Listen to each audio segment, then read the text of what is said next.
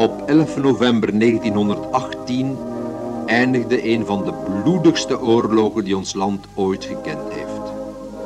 Jarenlang hadden terreuracties en krijgsgeweld honderdduizenden doden opgeëist. Zij die weerkeerden, verteerd door vier jaar levensangst en heimwee naar huis, hadden slechts één boodschap voor de komende generaties. Nooit meer oorlog. En toch volstond de machtswellust van een dictatoriaal regime om twintig jaar later nieuwe gruwelen te ontketenen. Honderden kleine en grote begraafplaatsen en gedenktekens zijn hiervan tot op onze dagen de stille getuigen. Maar zelfs de Tweede Wereldoorlog, die weldra een halve eeuw achter ons ligt, is voor de meesten onder ons slechts een geschiedenis, een verhaal. Ze hebben nooit persoonlijk de drama's beleefd die een oorlog meebrengt. Voor velen is de herdenkingsplechtigheid op 11 november met de tijd teruggezonken tot een extra verlofdag, waarvan de oorsprong slechts ligt in een veel verteld verhaal van hun grootouders.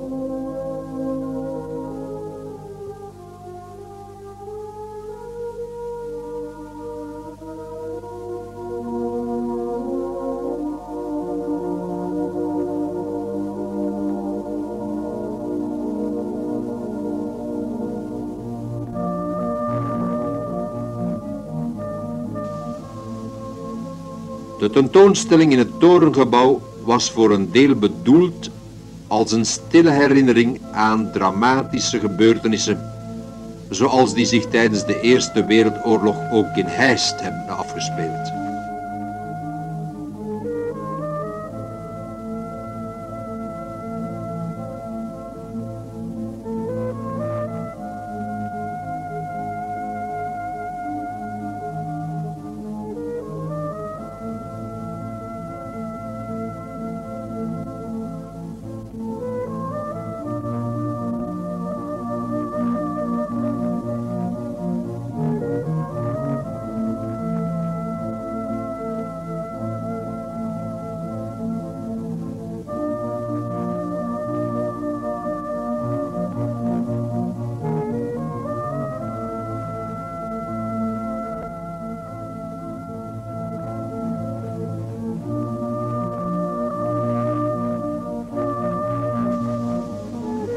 Een ander deel bracht een ingetogen hulde aan de gesneuvelde soldaten en omgekomen burgers van onze gemeente.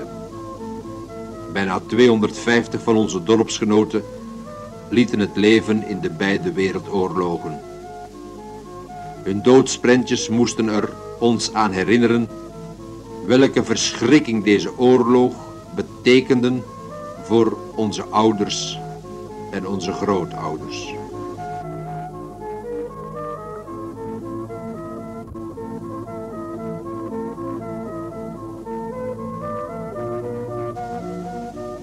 In het kader van de tentoonstelling rond Heist en de Eerste Wereldoorlog en bij gelegenheid van de 11e novemberherdenking werden erkentelijkheidsmedailles uitgereikt aan 90 overlevende oudstrijders van Heist, Hallaar en Itegem.